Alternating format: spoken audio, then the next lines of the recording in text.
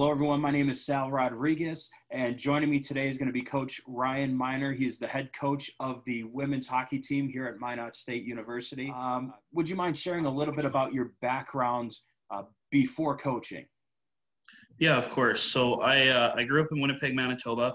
Uh, played hockey there my whole life until uh, I started juniors. Um, I played junior A and junior B hockey uh, through my uh, junior and senior years of high school uh, in northern Manitoba. I ended up um, signing a letter of intent with Dakota College at.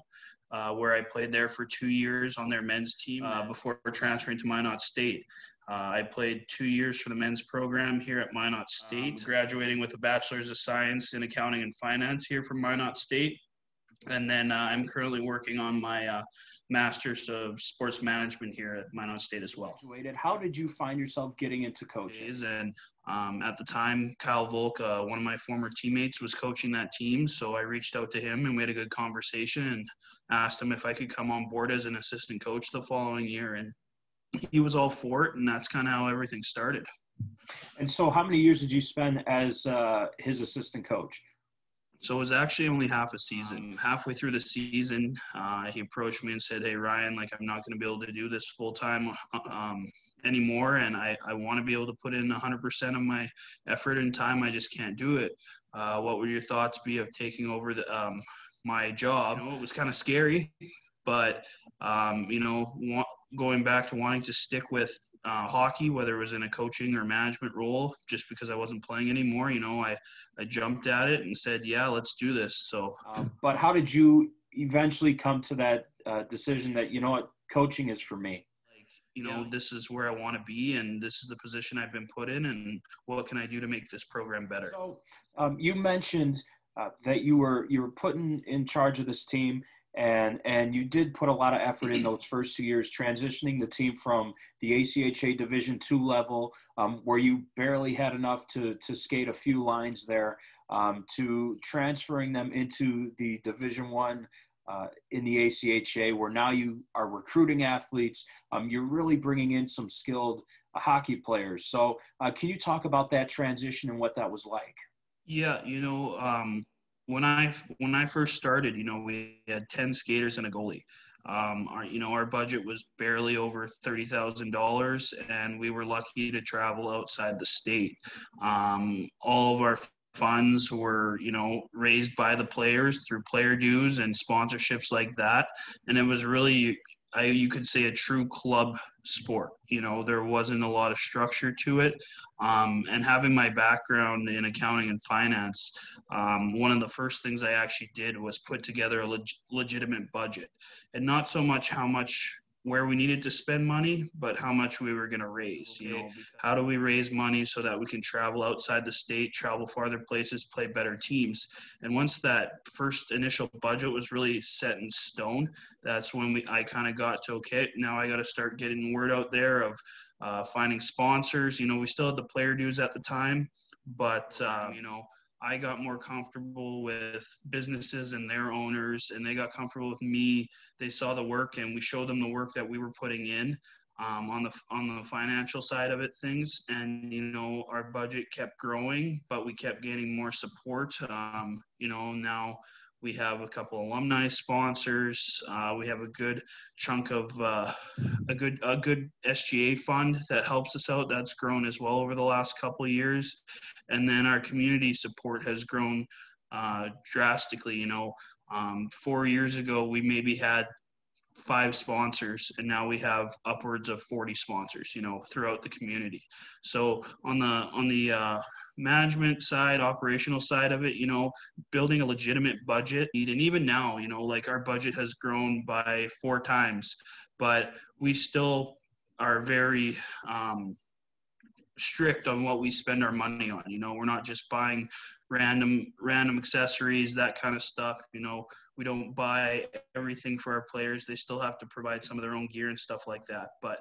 um, just being responsible with money and just making sure that the money was there and making sure that you know the girls didn't have to worry about the fundraising so much, and I put it more on my shoulders and now my assistant coaches as well. Um, on the recruiting side of it, the success that we've had over the last couple of years, uh, we're actually bringing in recruits um, here to play hockey. Obviously, there's a major here that is right for them, but we're recruiting them based on hockey. And, you know, that biggest change was when we started winning games, you know, we started transitioning or we transitioned from ACHA Division One to ACHA Division Two, um, or sorry, vice versa. Um, and we joined the athletic department. You know, the more perks that were added to our program and the better it looked. You know, it, we started to people started to actually say, "Oh, that's a legitimate program." So that was definitely a huge stepping stone. But I think at the end of the day, um, my recruiting tactics really haven't changed. You know, we emphasize on the culture at Minot State, the low tuition, the small class sizes, um, and the facilities that we offer here. And then on the hockey side, you know, um, we're still breaking barriers. You know, um, what we can offer recruits and future players is um, quite different than a lot of other schools and usually more than what other schools are offering them. So we try and offer them the best experience that we can, and that's how we've been kind of successful here lately. So you had mentioned that um, you started feeling more com- uh, confident walking into businesses and asking them for for fundraising dollars and and of course their support, um, and that alleviated a lot of pressure from your players having to go out and raise those funds themselves and provide those player dues. Um, but would you say that was probably one of your biggest challenges um, during that time period? Was actually growing your sponsorship and and your dollars to fund that program? Yeah, no, absolutely. Um, always has been a challenge. You know, the the biggest thing is that I see Minot as a hockey town, and you know, there's us, the men's program, the Minotauros, uh, the high school team. So virtually, there's five or six organizations plus the boosters who are going into businesses and asking for money. Continue so on the on the track of finances. How long does it take you roughly to um, determine your budget for the upcoming season? Raise that money, and then feel comfortable that um, you're in a good spot for the next season? So, so it's a process. So, uh, how it started is we have to know how many players we're going to have um, for that season, and we have to know our schedule ahead before a budget can even be made because then that determines where we're traveling to and how many people we're traveling with and then you know home expenses of uh, equipment that kind of stuff. So once those two things are set which i'm in the process of right now you know recruiting will be done here probably uh, before Christmas, and schedule hopefully should be set here um, by the end of the season. You know, going into the f- next fall. So once those two things are done, then you look at you building your budget of okay, how many hotel rooms do I need? How many meals have to be provided? Luckily, we have a, a structure in terms of per diem of how much we can spend every day. Um, you know, uh, is it a flight or is it a bus? Um, so our budget is very straightforward. You know, on the road we have transportation, hotels, meals, um, and then ice time on the road. Those are the four things that we. That's the only four things we spend money on on the road. At home, game days. You know, we have our refs, our ice fees, um, and paying our workers who run our games. You know, other than that, that's it. Our equipment is all ordered at the beginning of the season, and then we never have to order equipment throughout the year. Everything's th- there. So really, we make sure again going back to it. We only purchase the things that we absolutely need, and there's not anything really extravagant. Awesome. You know, and you mentioned earlier how the transition to athletics has helped open the doors for um, facilities and helped legitimize your program um, to potential recruits. Um, briefly, can you touch on maybe what else athletics has helped your program achieve and, and what that transition looked like um, I guess on on your end. But you know, since joining athletics, you know, we've we've it built a structure. Now I report to a super a supervisor who then also reports to the AD. You know, so now I have people telling me what I can and can't do at times. So that leadership now that's been added and the structure of being part of athletics has definitely been huge for me on an organizational side um, and management side of the program. Um, at the same time, too, uh, they treat us, you know, like an athlete, uh, NCAA program, you know, so that's a good uh, selling point when we're talking to recruits. You know, we're offered the strength and conditioning um, through Caleb at the university, you know, who's also training with the other NCAA sports. Uh, we now have a full time trainer to, you know, see to any injuries or any needs of our players, at practices, games on the road, that kind of thing.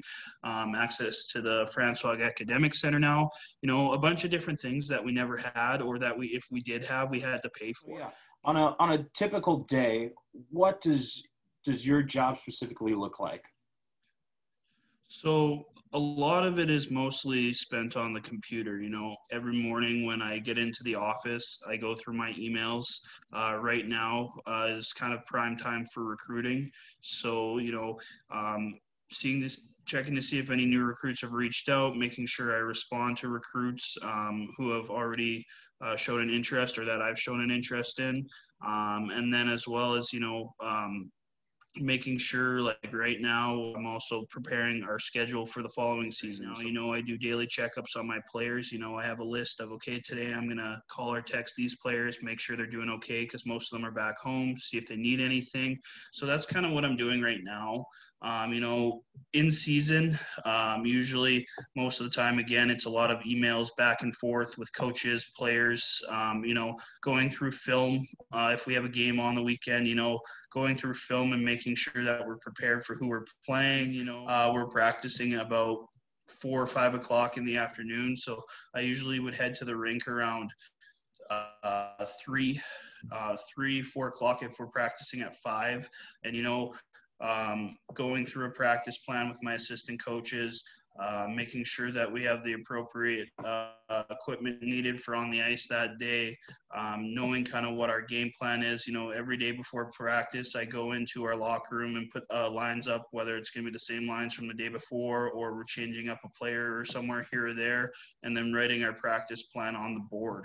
Uh, you know, so that the girls know what we're doing ahead of time. So uh, so that they can prepare for practice. And then, you know, we run through practice on ice. Usually it's an hour, sometimes an hour and a half. And then um, after that, usually most of the time, my assistant coaches and I will sit in our coaches' room and kind of discuss how we thought practice went, who was who was on, who was off today, places of improvement, and those kinds of things. And then usually um, if we have to t- chat with a player or you know um, clean something up maybe that we didn't like from a player in the previous weekend you know we'll pull them uh, aside and bring up a film and say hey this is what this is what we saw. This is how we're going to fix it that kind of thing. So a lot of communication you know in our job. Um, more time is spent off the ice than on the ice obviously um, but a lot of it is whether it's communicating with players, other coaches, recruits, uh, people within the athletic department, and the people we work with. So uh, usually it's a lot of time spent on my phone or on the computer. Um, and just making sure that everything's set up so that you know we can be successful and everything all the girls have to worry about is playing hockey and going to school now i was fortunate enough to shadow you during a game day and the three hours mm-hmm. were spent uh, mainly before the game, naturally. Mm-hmm. But um, you're kind of a man of many hats. So, yes, you have the technical coaching side, um, the recruiting side, things like that. But uh, as you mentioned, you also make sure the uniforms are in everybody's locker. Their their skates are sharpened. You've like I said, you've done a little bit of everything. So, on a day like that, how much running around is involved, um, and how stressful does that look like on your typical game day? You know, I've been lucky enough, you know, um, to hire my assistant coach here last year who really stepped up and helped me because for a lot of the time I felt like I was doing a lot of things on my own. But a typical day, like typical game day, you know, if we're playing at five o'clock at night, I'm at the rink by 9, 10 a.m., setting up our media booth, uh, making sure that all the uh, game day uh, times are on the lock are on the locker room doors and making sure that our trainers all set up and then setting up the ticket table and making sure that everything's ready to go for security. So usually i try and get everything done ahead of time going into the locker room making sure that it looks good making sure jerseys are taken out and put in their stalls. And then so that by that time i can go home you know around lunchtime you know, have something to eat, have a shower, put the suit on, and then come back to the rink. And by the time I come back to the rink, I'll you, I'll do like a walkthrough and make sure that everything that I set up earlier is in place. And then, but then that gives me time to not run around as much right before the game. You know, I've been bad for that in years past, so that's kind of why I changed it up this year. And make sure then then I can just focus on the, the game at, at hand and you know uh, run through our game plan with our coaches and our players if we have to do any meetings before the games and that kind of thing. Done here. Um, I just want to ask you personally, of course, we've covered it already. You're a young coach. Um, you're coaching ACHA Division One, arguably one of the best teams in the country. Um, some of the nicest facilities, nicest amenities. Um, what are some of the biggest rewards for you as a coach? You know, I think you know at the end of the day, um, have seeing the success you know nothing i do is for myself. Everything i do is for the team.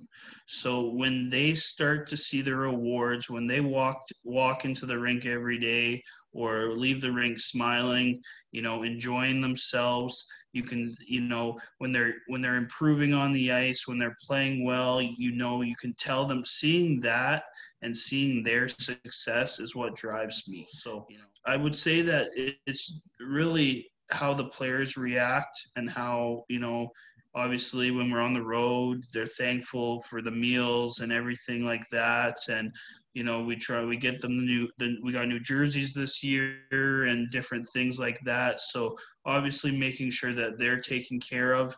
And at the end of the day that's what satisfies me you know making sure that they're happy and they're enjoying the experience. Um, but what might be some goals that you have um, personally for your coaching career well, you know, first on the list is winning a national championship. Uh, I'm, pre- I'm, I'm happy here at Minot right now. Uh, this is the first year that every player on the team is someone that I recruited. Um, so I want to make sure that I see that through and see them get through their four years. But the real goal down the road is to be uh, in a management position uh, for a professional team, whether it's at the college level, being, um, you know, a director of hockey operations or you know being a general manager for a junior team or even moving my way up into the professional, semi-professional leagues, being a GM at that level. You know, that's kind of the goal because I love coaching. I love the on-ice development, but um, one of my favorite things to do is the off-ice, building a budget, you know, recruiting, uh, making sure that the things are checked off the list, bills are paid, raising money, you know, I, I thoroughly enjoy that, you know, and so that's kind of why, you know, eventually at some point in my career, I would like to switch to just an office position. And so I think you've laid a really solid foundation, um, especially at a young age. You've done a lot more than a lot of 25 year olds in the game um, have achieved. So, I, like I said, I think you have a strong foundation. Uh, I want to finish things off on maybe any advice that you have to anyone that's looking to to get into coaching or looking to move into um, maybe an office position like you and might have to take the coaching route, um, what advice do you have for them? I, I think the, the one piece of advice that I can give is don't expect others to do things for you. You know, especially if someone's looking to start a program or work their way up in the rankings, you know, there is going to be a lot of things that you have to do on your own um, and can't really expect someone else to do it for you. Well, Miner, uh, Coach Miner, I appreciate your time. Um, a lot of great information there, and uh, best of luck to you in the second half of the season. Um, and as always, go Beavers. Thank yeah, you. of course. Thanks, Sal, for having me.